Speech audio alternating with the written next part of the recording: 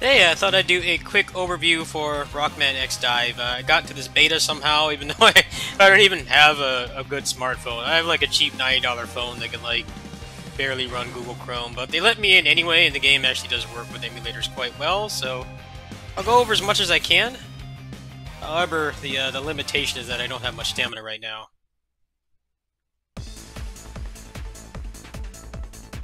So, there's not that many characters in the game right now, and uh, one of my biggest concerns playing this is like, how many characters do they have to draw from? You know, like, King of Fighters is a game I've been playing recently that's very similar to this in terms of, uh, you know, having more arcade-style gameplay than most mobile games, but, you know, King of Fighters has a lot more characters to draw from. They already have, like, random characters like Palette and Alia who were never actually combatants, they were just uh, playable skins for the other characters in uh, X8.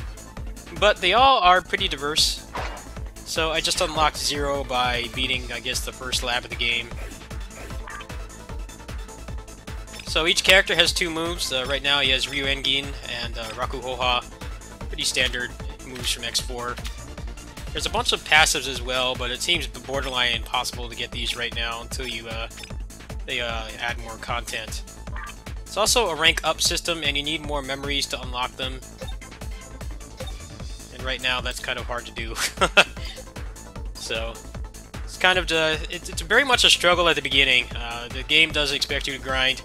Uh, if you try to play it like a traditional Mega Man game, or at the very least like a Mega Man X speedrunner, where you mostly just avoid contact, you jump over enemies, and pretty much just kill whatever is directly blocking your path, then uh, you won't get far in this game.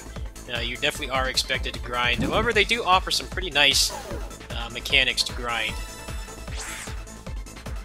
So you have a bunch of weapons. Uh, they are unlocked by fragments as well. If you played Honkai Impact 3rd, uh, the character and weapon fra fragments system is very similar to that. Like if you collect a certain amount of the, the pieces, then you can craft that weapon or character. So right now I'm using the Z Rapier and the Falcon Buster.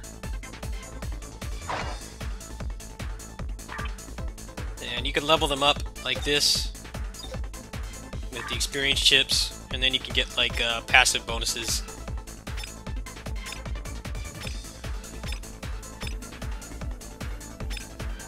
Like right now, I could go for a higher crit rate.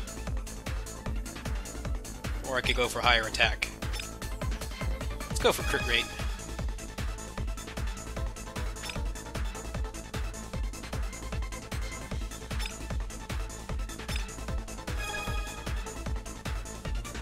Now, the translation this is not the best. Uh, if you're not aware, this is actually a Taiwanese game from Capcom Taiwan.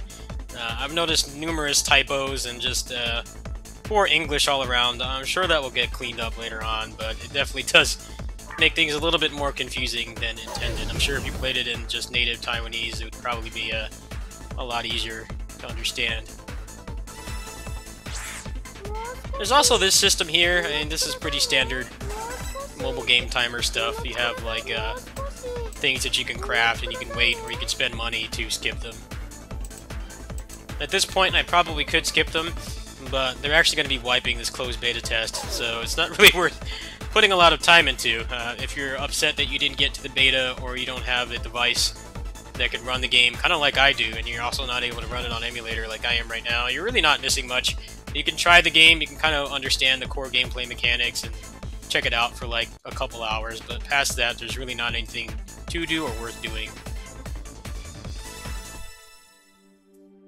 Now, the loot box system is actually quite nice. Uh, if you spend uh, 10 loot boxes, or if you purchase 10 loot boxes at once, you're always guaranteed to get a character.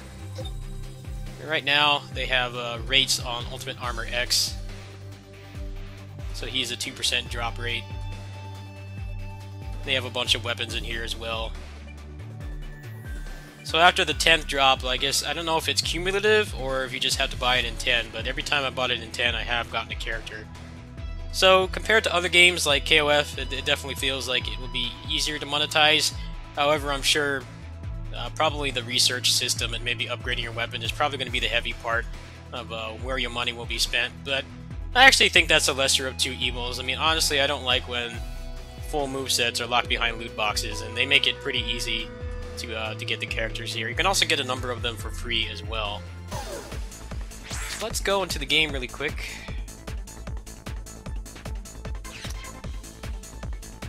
Now, I have a, to give a disclaimer. I'm about to complain about the controls, and uh, I should mention this game actually does have native controller support, which is uh, is rare for games like this. Uh, normally, no matter how like advanced the gameplay gets, you know, mobile games are definitely kind of uh, improving in terms of having actual gameplay. There's very rarely actual controller support. Here, there is. Uh, if you have a Bluetooth controller, you can actually hook it up and run it just fine. However, I don't have a Bluetooth dongle for my uh, my PS4 controller. Uh, I might consider doing that when the game is in full release. I, I, am liking it enough that I might consider adding it to my rotation, maybe playing it. But it would be better if they just put it on PC. Who knows if that's in the plans later on. So let's get to some gameplay here. I only have like a couple of stamina, so I can't really show that much. Zero's got the Falcon Buster and the Rapier.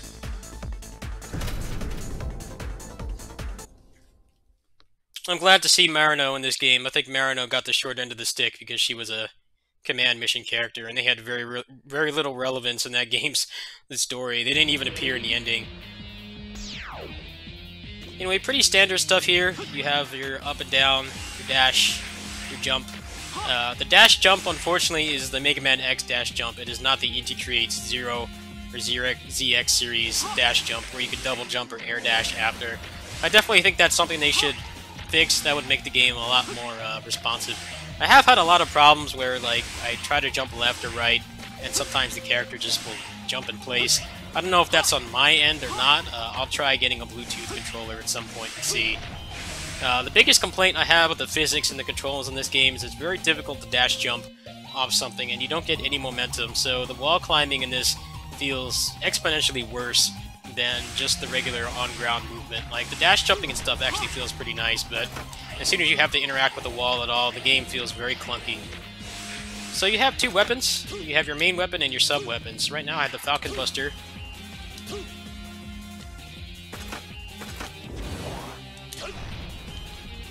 And I have the Z-Saber. Or this is the Rapier. And you have two actives as well. So here's Akuhoha and Ryuenjin. So later on you can level up your, your moves as well, but I'm not able to do that because there don't seem to be many options to in the beta.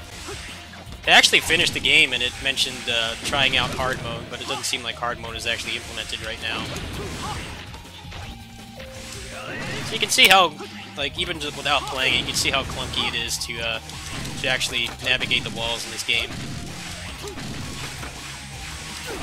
Controls definitely need to be a lot more responsive, uh, even if it is a little bit on my end. It definitely doesn't feel as responsive as it should.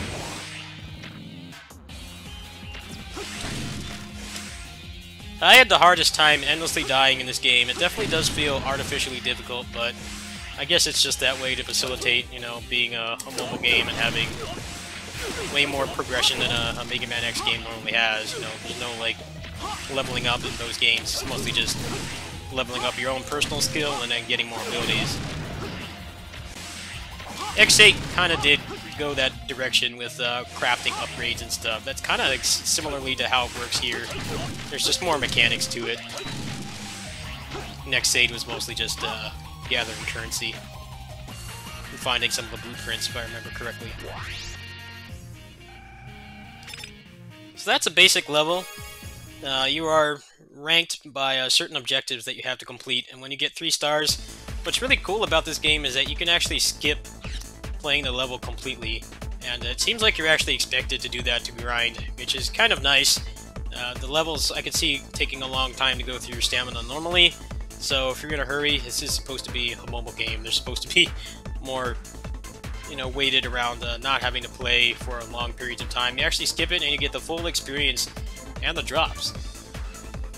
So I actually burnt through a ton of my stamina earlier to try to craft some other things. So I have 12 stamina left, so I'll go ahead and I'll show a boss.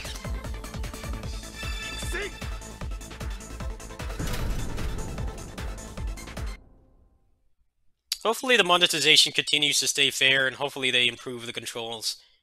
It definitely does still feel like a bootleg Mega Man X game in some ways. Mostly just the controls. Like right there, he's not jumping forward.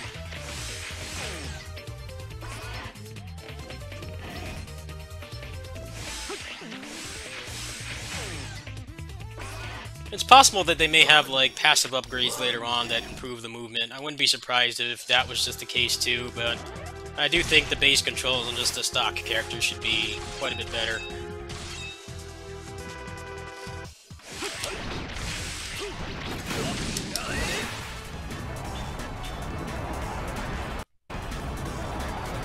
So I was actually able to get to this power level just by playing the game. I hope that they'll continue to leave it that way. At the same time, they only have like 8 characters in the game right now. There's only a handful of weapons. So I'm not really sure how well they'll be able to, to monetize the game if they keep it this fair. But in terms of like being a consumer with uh, not a whole lot of disposable income, it definitely does feel like a far more friendly free-to-play game than some of this other stuff I've attempted, like uh, King of Fighters and things like that. Anyway, I'm out of stamina, so that's basically it. Uh, I don't really have a whole lot else to do on this demo, honestly. I tried to select hard mode, but it doesn't seem like it's working at the moment. So, like I said, uh, if you are not able to get to the game, I don't really think you missed much of anything. You can easily just watch some gameplay videos and get pretty close to the full experience. Uh, if you see someone fumbling around with the controls, it's mostly just likely the fact that the game is not as responsive as it should be, especially for something like Mega Man X, which is one of the, the more responsive, you know, platformer video game franchises out there and the Inti Creates games only made them even more responsive, so hopefully they will take more inspiration from those games' controls. I hear that, I guess, classic Mega Man characters and other characters will appear. Maybe they'll do some collaborations or something. As you know, Mega Man X in general doesn't really have that many active combatant characters, so I'm kind of curious how they plan to keep getting people to play the game and spend money when they don't have a large roster like, you know, Honkai Impact and KOF and even the Dynasty Warriors uh, Unleashed mobile game has, you know, Dynasty Warriors has like 100 characters at this point, so I'm curious to see how things will go. Uh, I'll probably play more uh, when they do the open beta test, where I assume they will add more content. I'll also put out some gameplay of the other characters as well. So right now I have both iterations of X, I have Axl, Zero, Marino, and Palette. Uh, I'll try to get out some gameplay for those. There's only a couple more days of the beta, so uh, maybe for tomorrow's video, I'll just do a big video with uh, gameplay of all of them so you can see their gameplay. And uh, that's basically it for this beta. I kind of wasn't expecting it to go through it as fast. I was playing uh, KOF a lot this morning and thought maybe I should go on here and before I ran out of time, but I ended up playing it for an hour and I cleared all the content. oh, there's also a uh, boss rush here and there's like PvP. I can't imagine how awful that would be. It seems like it's more balanced than other games where there's like actual uh, like uh, stat, I guess, balancing done, but definitely doesn't seem like it's going to be too great. And you have this boss rush mode here, pretty self-explanatory. Catch you guys later, and I'll have more content in the near future. Peace.